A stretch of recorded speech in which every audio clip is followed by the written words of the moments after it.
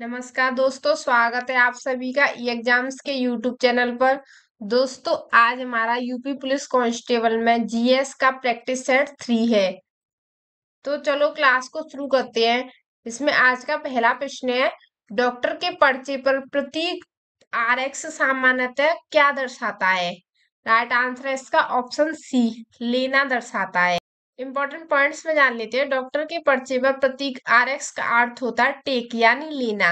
यदि डॉक्टर ने अपने पर्चे पर आर एक्स लिखा है तो इसका अर्थ है कि वो आपको दवाएँ लेने को कह रहा है। अगला प्रश्न है, निम्नलिखित में से कौन सा विकल्प भारत में रबी फ़सल का उदाहरण नहीं है? राइट आंसर है इसका ऑप्शन सी कोहड़, जो रबी फ़सल का उदाहरण नहीं है। इंपॉर्टेंट पॉइंट्स में जान लेते हैं। कोहड़ा, कटु, भारत में रबी फ़सल का उदाहरण नहीं है। खरीफ और गर्मी के मौसम में कोहड़ा का उत्पादन होता है। अक्टूबर, नवंबर महीने में रबी की फ़सलों को बोया जाता है। रबी की मुख्य फ़सलें गेहूँ, जौ, चना, सरसों, मटर, राई और आलू है। अगला प्रश्न है 1831 में board of revenue Uttar Pradesh की स्थापना कहाँ की गई थी? राइट आंसर है इसका ऑप्शन बी, इलाहाबाद में की गई थी। इंपॉर्टेंट पॉइंट्स में जान लेते हैं। इस राजस्व परिषद के मुख्य कार्य इस प्रकार थे। किराया, राजस्व का संग्रह और संग्रह कर्मचारियों पर नियंत्रण। दूसरा है राजस्व कानून का प्रशासन।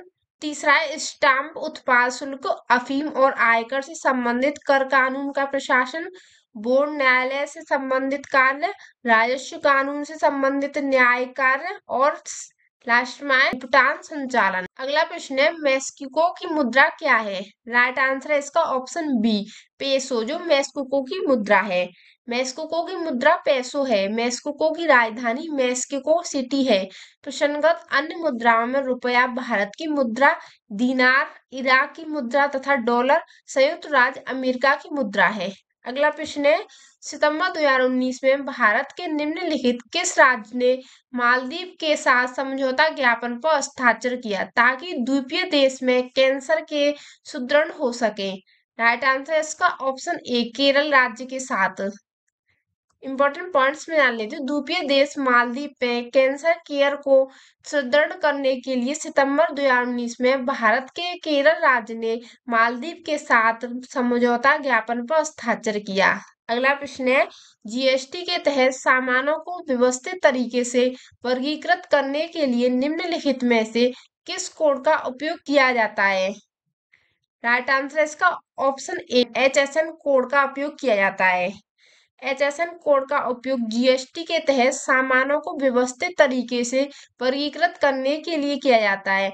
एचएसएन का पूरा नाम है हार्मोनियस सिस्टम ऑफ़ न्यूमेरिकल्चर है। इसका उपयोग वस्तु के बिक्री के लिए सही वर्गीकरण करना और उन पर लागू टैक्स की दर को सुनिश्चित करना है।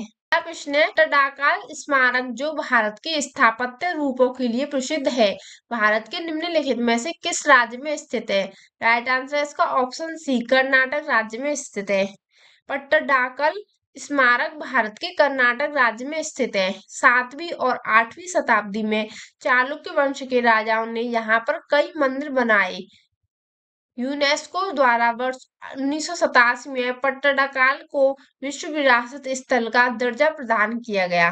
अगला प्रश्न है, भारत सरकार का अधिकृत निकाय एपीईडीए कृषि क्षेत्र के निम्नलिखित किस पक्ष से संबंधित है? राइट आंसर इसका ऑप्शन सी प्रसंस्कृत खाद्य उत्पादों का निर्यात। एपीईडीए का पूरा नाम agriculture and processed food product export development authority कृषि एवं संस्कृत खाद्य उत्पादन निर्माण विकास प्राधिकरण है। अगला प्रश्न, निम्नलिखित में से कौन सा लॉन्च वाहन मिशन चंद्रयान टू में उपयोग किया गया था?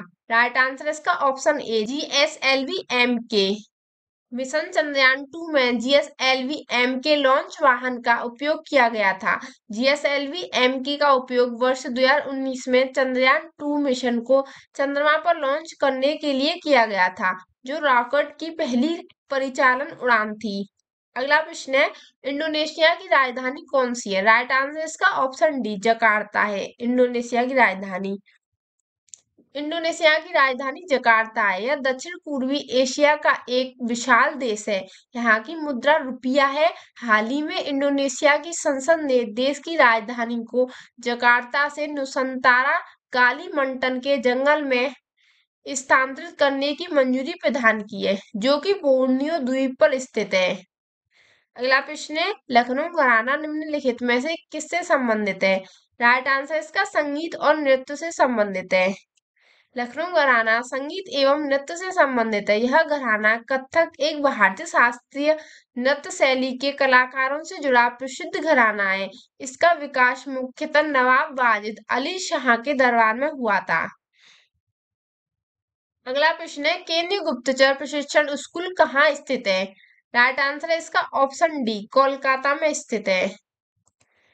दिसंबर 2022 में केंद्रीय गृह एवं सहकारिता मंत्री अमित शाह द्वारा कर्नाटक के देवनहल्ली में केंद्रीय गुप्तचर प्रशिक्षण संस्थान की आधारशिला रखी गई, जो कि देश का छठा प्रशिक्षण संस्थान है। ध्यातव्य है कि केंद्रीय गुप्तचर प्रशिक्षण स्कूल इंस्टीट्यूट कोलकाता सबसे पहले स्थापित किया गया था। अगला प्रश्न है, निम्नलिखित में से कौन सा साइबर अपराध नहीं है? राइट आंसर इसका ऑप्शन डी बिना अनुमति के कॉपीराइट सामग्री कॉपी करना।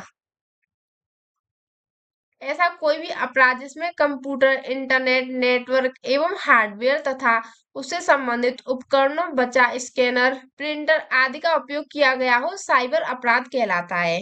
अगला प्रश्न है, भारत का यह कौन सा जिला था जहाँ व्यावसायिक वानिकी के विरुद्ध चिपको आंदोलन शुरू हुआ था? राइट आंसर इसका ऑप्शन सी चमोली जिला। 1970 के दशक में भारत के उत्तराखंड राज्य तत्कालीन उत्तर प्रदेश का भाग के चमोली ज़िले से चिपको आंदोलन प्रारंभ हुआ था। अगला प्रश्न है, आरपीएफ का सबसे उपयुक्त पूर्ण रूप निम्नलिखित में से कौन सा है? रेलवे पुलिस फोर्स, ये गलत है इसका। रिज़र्व पुलिस फोर्स, ये भी गलत है। रेलवे प्रोटेक्शन फोर्स, ये इसका सही राइट आंसर है। इस सुरक्षा बल का देश में रेल यात्रियों की सुरक्षा, भारतीय रेलवे की संपत्तियों की रक्षा तथा किन्हीं देश विरोधी गतिविधियों में रेलवे सुविधाओं के इस्तेमाल की निगरानी करना है। अगला प्रश्न है उड़ीसा में प्रसिद्ध सूर्य मंदिर का निर्माण करवाने वाला शासक निम्नलिखित राजवंशों में से किससे संबंधित है? राइट आंसर इसका ऑप्शन डी, गंग राजवंश से संबंधित है। ओडिशा में प्रसिद्ध सूर्य मंदिर कोणार्क का निर्माण बारह से बारह ईस्वी पूर्व में तत्कालीन गंग वंश के राजा नरसिंह देव प्रथम ने करवाया था। संपूर्ण मंदिर स्थल को बारह जोड़ी चक्रों के साथ, सात घोड़ों से खींचते हुए करवाए ये इसका आया नहीं है इसका आगे। अगला प्रश्न है, निम्नलिखित में से कौन सा रोग बैक्टीरिया के कारण होता है? राइट आंसर इसका ऑप्शन सी, निमोनिया रोग। निमोनिया रोग बैक्टीरिया के कारण होता है। यह रोग स्ट्रेटोकोकस न्यूमोनी नामक जीवाणु से होता है। इन्फ्लुएंजा और चेचक विषाणु जनिक रोग है। अगला प्रश्न है, निम्नलिखित में से कौन सा विकल्प राजस्थान में स्थित राष्ट्रीय उद्यान और वन्यजीव अभ्यारण्य के संबंध में गलत है? राइट आंसर इसका option D Sahyadri tiger reserve वन्यजीव अभ्यारण्य के संबंध में गलत है। सह्याद्री टाइगर रिज़र्व महाराष्ट्र में पश्चिम घाट की सह्याद्री रेंज में स्थित है। महाराष्ट्र सरकार द्वारा वर्ष 2012 में अधिसूचित किया गया था। अगला प्रश्न डोलू कुनीथा भारत के किस राज्य का लोक नृत्य है? राइट आंसर है इसका ऑप्शन डी, कर्नाटक राज्य का लोक नृत्य है। भगवान शिव का एक रूप माने जाने वाले श्री वीरलिंगेश्वर की पूजा से जुड़ा एक लोकप्रिय नृत्य है। उत्तरी कर्नाटक के कुरुबा गोड़ा समुदाय के अनुष्ठानों में इस लोक की नृत्य की उत्पत्ति हुई थी। अगला प्रश्न है, पाकिस्तान के लरकाना ज़िले में सिंधु नदी के तट पर स्थित सिंधु घाटी सभ्यता का एक प्रमुख शहर निम्नलिखित में से कौन सा है? राइट आंसर इसका ऑप्शन ए मोहनजोदड़ो पाकिस्तान के सिंध प्रांत के लरकाना ज़िले में सिंधु नदी के तट पर स्थित सिंधु सभ्यता का प्रमुख स्थल मोहनजोदड़ो है। वर्ष 1922 में राखलदास बनर्जी ने इसकी खोज की थी। अगला प्रश्न है, निम्नलिखित में से कौन सी कल्पना चावला की जीवनी है और जॉन पियर हैरिसन द्वारा लिखी गई है? राइट आंसर इसका option A age of time जो कल्पना चावला की जीवनी है। इंपॉर्टेंट पॉइंट्स में जान लेते हैं। दिए गए विकल्पों में से age of time Kalpana Chawla की जीवनी है, जिसे उनके पति जीन पियर हैरिसन ने लिखा था। कल्पना चावला अंतरिक्ष में जाने वाली प्रथम भारतीय मूल की महिला थी। इनका जन्म 17 मार्च उन्नीस सौ बासठ को हरियाणा के करनाल में हुआ था। अगला प्रश्न है, संत कबीर नगर ज़िले का पुलिस प्रशासन किस पुलिस क्षेत्र के अंतर्गत आता है? राइट आंसर इसका ऑप्शन एक ज़िले के अंतर्गत आता है। भारतीय संविधान के निम्नलिखित मौलिक अधिकारों में से कौन सा चौदह वर्ष से कम उम्र के बच्चों के रोज़गार पर प्रतिबंध लगाता है? राइट आंसर इसका ऑप्शन सी, शोषण के विरुद्ध अधिकार। इंपॉर्टेंट पॉइंट्स में जान लेते हैं। भारतीय संविधान के भाग थ्री में अनुच्छेद बारह से पैंतीस तक मौलिक अधिकारों का उल्लेख है। अनुच्छेद तेईस चौबीस में शोषण के विरुद्ध अधिकार का वर्णन किया गया है। इसमें से अनुच्छेद 24 के अनुसार 14 वर्ष से कम आयु के बच्चों को किसी कारखाने, खदान या किसी खतरनाक काम में नियोजित नहीं किया जाएगा। अगला प्रश्न भारतीय कृषि अनुसंधान संस्थान पूषा का मुख्यालय कहाँ स्थित है? राइट आंसर इसका ऑप्शन ए, दिल्ली में स्थित है। भारतीय कृषि अनुसंधान संस्थान पूषा का मुख्यालय दिल्ली में स्थित है। इसकी स्थापना पूषा बिहार में 1905 में की गई थी। जनवरी 1934 में भूकंप आने के कारण इसकी इमारतों को क्षति पहुँची, जिसके उपरांत वर्ष 1936 में से दिल्ली स्थानांतरित कर दिया गया था। अगला प्रश्न है, निम्नलिखित में से कौन सी पुस्तक रोहिंटन मिस्त्री द्वारा लिखी गई थी? राइट आंसर इसका option D A fine balance जो रोहिंटन मिस्त्री द्वारा लिखी गई थी। ए फाइन बैलेंस रोहिगंटन मिस्त्री द्वारा लिखा गया उपन्यास है। Our moon has blood clots clots के लेखक राहुल पंडित सीरियस मैन के लेखक मनु जोसेफ तथा इंग्लिश अगस्त के लेखक उपमन्यु चटर्जी है। अगला प्रश्न निम्नलिखित में से कौन सा केंद्रीय पुलिस बल मिलिशिया के रूप में उभरा है इसे कछाल लेवी कहा जाता है, जो उत्तर पूर्व भारत के कुछ सबसे दूरस्थ और अल्प विकसित क्षेत्रों में तैनात है। Right answer option C Assam rifle द्वारा उभरा है। प्रश्नगत विकल्पों में से असम राइफल वर्ष 1835 में मिलिशिया के रूप में अस्तित्व में आई, जिसे कछार लेवी कहा जाता है। यह दल उत्तर भारत के कुछ सबसे दूरस्थ और अल्प विकसित क्षेत्रों में तैनात है। अगला प्रश्न है भारत में मानव अधिकार संरक्षण अधिनियम कब लागू सर्वप्रथम हुआ?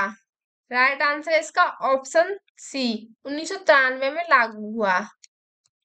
भारत में मानव अधिकार संरक्षण अधिनियम वर्ष उन्नीस सौ तिरानवे में लागू किया गया था। राष्ट्रीय मानव अधिकार आयोग का गठन 12 अक्टूबर उन्नीस सौ तिरानवे को हुआ था।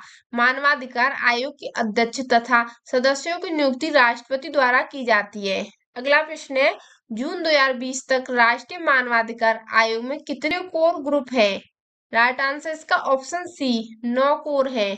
अगला प्रश्न है, पादप वायरस टीएमवी का पूर्ण रूप है। Right answer tobacco mosaic virus जो टीएमबी का पूर्ण रूप है।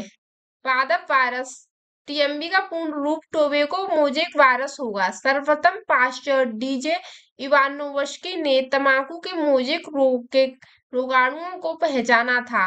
वायरस में प्रोटीन के अतिरिक्त अनुवांशिक पदार्थ भी होता है। अगला प्रश्न है, जून 2020 में चीन के साथ संघर्ष में कमांडिंग ऑफिसर सहित 20 से अधिक सैनिक निम्नलिखित में से किस क्षेत्र में मारे गए? राइट आंसर इसका ऑप्शन ए, गलवान घाटी में। इंपॉर्टेंट पॉइंट्स में जान लेते हैं। जून 2020 में पूर्व लद्दाख के गलवान घाटी में भारत और चीन के बीच गतिरोध में चीनी सैनिकों के साथ हिंसक झड़प में भारतीय सेना के एक कमांडिंग ऑफिसर तथा दो जवानों की जान चली गई थी। इस झड़प दो में कुल मिलाकर 20 सैनिक शहीद हुए थे। अगला प्रश्न है, मानवाधिकार के लिए संयुक्त राष्ट्र के उच्चायुक्त कार्यालय में आर्थिक, सामाजिक और संस्कृत अधिकार की समिति में कितने सदस्य हैं? राइट आंसर इसका ऑप्शन सी 18 सदस्य हैं। इंपॉर्टेंट पॉइंट्स में जान लेते हैं।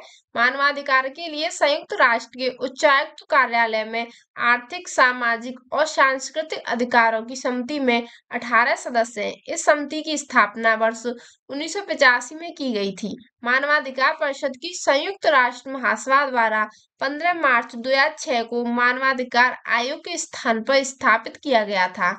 अगला प्रश्न है राजस्व आयोग या board of revenue Uttar Pradesh में कितने सदस्य हैं? राइट आंसर इसका ऑप्शन डी, दस सदस्य हैं। इंपॉर्टेंट पॉइंट्स में जान लेते हैं। वर्तमान में उत्तर प्रदेश के राजस्व आयोग या बोर्ड ऑफ़ रेवेन्यू में कुल दस सदस्य हैं, जिनमें से एक अध्यक्ष तथा दो सदस्य प्रशासनिक कार्य तथा सात सदस्य न्यायिक कार्य हेतु उत्तर प्रदेश राजस्व संहिता दो हज़ार छह के अनुसार उत्तर प्रदेश के लिए एक राजस्व परिषद होगा, जिसमें एक अध्यक्ष और ऐसे अन्य सदस्य होंगे, जिन्हें समय समय पर राज्य सरकार द्वारा नियुक्त किया जाएगा।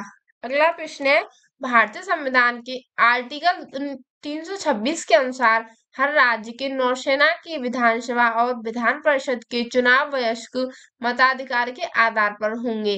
वयस्क मताधिकार से तात्पर्य है कि प्रत्येक भारतीय नागरिक की उम्र चुनाव में भाग लेने के लिए कितने वर्ष से कम नहीं होनी चाहिए। राइट आंसर इसका ऑप्शन ए, अठारह वर्ष से कम नहीं होनी चाहिए। अगला प्रश्न है, म्यांमार में भारत का दूतावास निम्नलिखित में से किस स्थान पर है? राइट आंसर इसका ऑप्शन ए यांगून स्थान पर है। इंपॉर्टेंट पॉइंट्स में जान लेते हैं, प्रश्नगत विकल्पों में से म्यांमार में भारत का दूतावास यांगून में स्थित है। ध्यातव्य है कि भारत शासन अधिनियम 1935 के प्रावधानों के अनुरूप वर्ष उन्नीस सौ सैंतीस में वर्मा, वर्तमान म्यांमार को भारत से अलग कर दिया गया है। अगला प्रश्न है, निम्नलिखित में से किस किस तारीख को विश्व मस्तिष्क ट्यूमर दिवस के रूप में मनाया जाता है? राइट आंसर इसका ऑप्शन बी 8 जून को। इंपॉर्टेंट पॉइंट्स में जान लेते हैं ब्रेन ट्यूमर के बारे में जागरूकता फैलाने तथा लोगों को शिक्षित करने के उद्देश्य से प्रत्येक वर्ष 8 जून को विश्व मस्तिष्क ट्यूमर दिवस के रूप में मनाया जाता है। अगला प्रश्न है सीआरपीएफ का सबसे उपयुक्त पूर्ण रूप निम्नलिखित में से कौन सा है? राइट आंसर है इसका option C central reserve police force CRPF का सबसे उपयुक्त पूर्ण रूप सेंट्रल रिज़र्व पुलिस फोर्स है। इसकी स्थापना वर्ष उन्नीस सौ उनतालीस में क्राउन रिप्रेजेंटेटिव पुलिस के रूप में की गई थी। आज़ादी के उपरांत 28 दिसंबर उन्नीस सौ उनचास को संसद के एक अधिनियम द्वारा इस बल का नाम केंद्रीय रिज़र्व पुलिस बल कर दिया गया। अगला प्रश्न है, निम्नलिखित में से किस देश ने सितंबर 2020 में रॉयल ऑस्ट्रेलियाई नौसेना के साथ पैसेज एक्सरसाइज किया? राइट आंसर इसका ऑप्शन सी, भारत के साथ। इंपॉर्टेंट पॉइंट्स में जान लेते हैं, तेईस से 24 सितंबर 2020 के मध्य रॉयल ऑस्ट्रेलियाई नौसेना तथा भारतीय नौसेना के मध्य पैसेज एक्सरसाइज संपन्न हुई थी। पैसिव अभ्यास दो देशों के नौसेना के मध्य होने वाला युद्ध अभ्यास है। अप्रैल 2023 में भारत व श्रीलंका के मध्य सिलनेक्स 2023 द्विपक्षीय समुद्री अभ्यास का दसवां संस्करण कोलंबो में संपन्न हुआ। आशा करती हूँ कि आपकी क्लास अच्छी लगी अच्छी लगी तो इसे लाइक करना और चैनल पर नए आए हो तो चैनल को सब्सक्राइब कर लेना। धन्यवाद।